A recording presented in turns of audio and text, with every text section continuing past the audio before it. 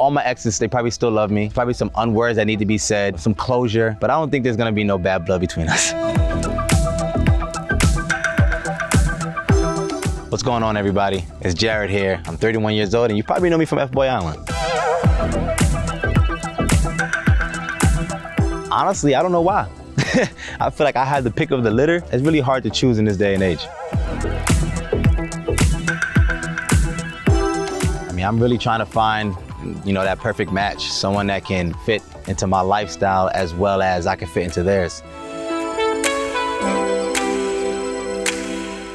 I mean, I'm a lover boy. I try to give 100% to each one of my relationships. Unfortunately, I'm still single and I haven't found that exact person yet, but hopefully she's here.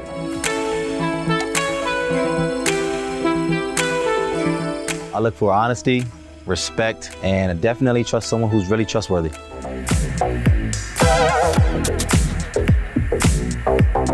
All my exes, I have so much respect for them. To bring them onto the beach when I'm trying to find something new, I have no clue what's gonna happen. I, I don't wanna see any of them right now.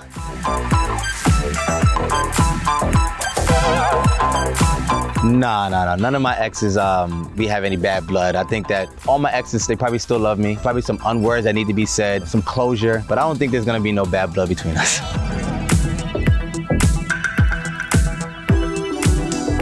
worst date I've ever been on, I got stood up. I mean, you probably won't believe that, but yeah, texting, calling, and she just never ever showed up. And I kind of had, kind of had a dinner date by myself that night. That was kind of the worst thing I've ever. I'm like, how you just? And then she blocked me. I couldn't find her no more. It was kind of weird. I was like, maybe she was a catfish. My biggest ick is someone who's just disloyal. I love a person who is just gonna give me 100% of honesty and uh, love and compassion. I could ride a unicycle. I mean, think about it. I'm not in the circus, but I can ride a unicycle.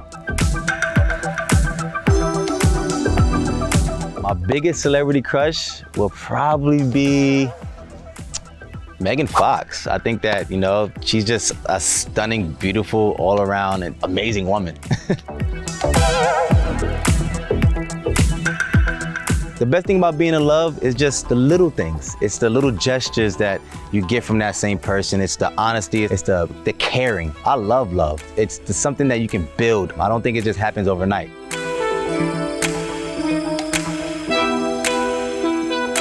I've never used the pickup line. I feel bad for the pickup lines because, like, I mean, I get you want to make a person smile and feel comfortable, but yeah, my pickup line is, "Hey, how you doing?"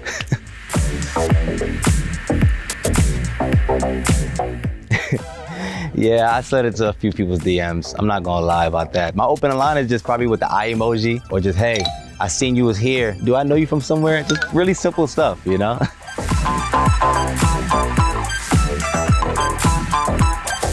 best piece of relationship advice someone has ever told me is to form a real good bond with that person.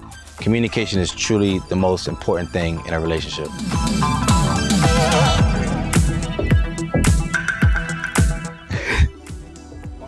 I spilled like red wine all over my clothes. That was really embarrassing, but luckily the lady was all cool and calm. She accepted. She thought it was funny, you know?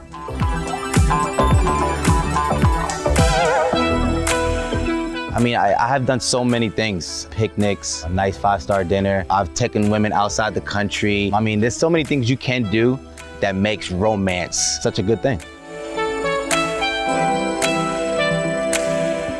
No, I never got a revenge on any of my exes. I don't believe in revenge. I think that it just, it's kind of just immature.